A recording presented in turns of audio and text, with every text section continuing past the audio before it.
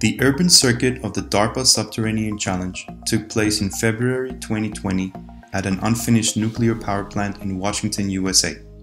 The goal of the Sub-T Challenge is for competing teams to employ mobile robots to rapidly map, navigate, and explore dynamic underground environments.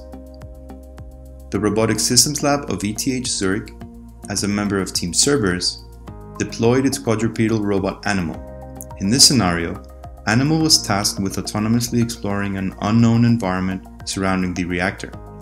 It is equipped with a rich suite of sensors such as lasers, cameras, and gas sensors. The laser sensors are used to build a 3D map of the environment for navigation purposes as well as to evaluate the traversability of the terrain.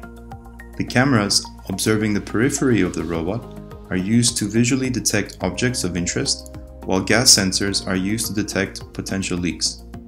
The total information collected by the robot is streamed back to a human supervisor to provide situational awareness throughout the mission.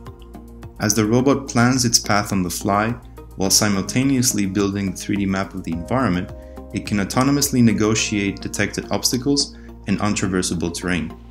Such autonomy allows the human supervisor to focus on the mission itself without explicitly directing every individual action of the robot.